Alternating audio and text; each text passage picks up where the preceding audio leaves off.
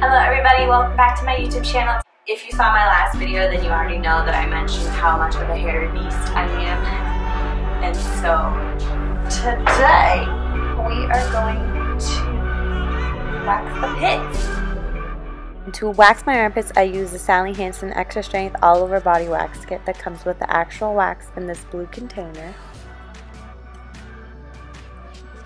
A couple of wooden applicators to apply the wax and 20 long cloth strips that I like to cut in half and use one side for my right armpit and one side for my left armpit. The first step to this kit is to microwave the wax for about 30 to 45 seconds.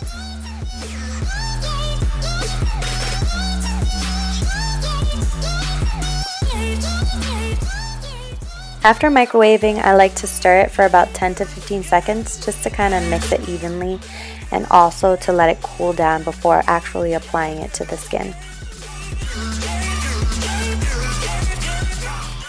Now it's time for the actual waxing part. You just apply the wax with the sticks that I mentioned before. If the wax is too hot, then you gotta kind of let it cool down a little longer.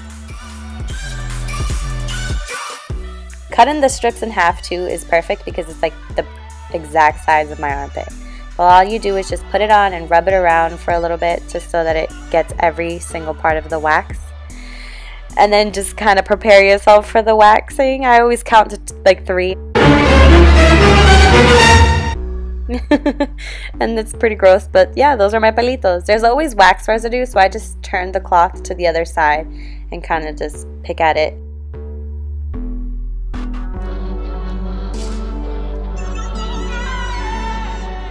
Lighting's not that great in the bathroom, but now one pit down, next one to go.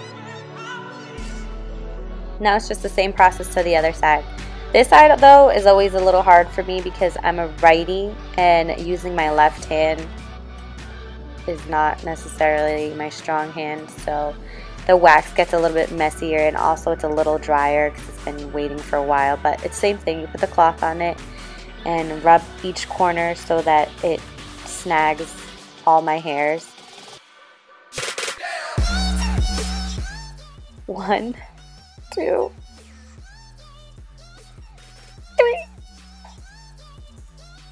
One more time because that face though.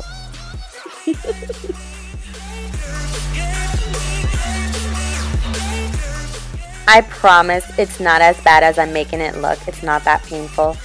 I actually prefer this method just because it takes a little bit longer for my hairs to grow in and also it has improved my under armpit discoloration. Finally, the last thing I do is use some coconut oil to remove any leftover wax residue.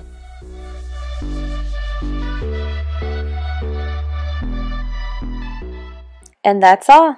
That's how I remove my armpit hair. Thank you guys so much for watching. I hope you enjoyed this video. Until next time.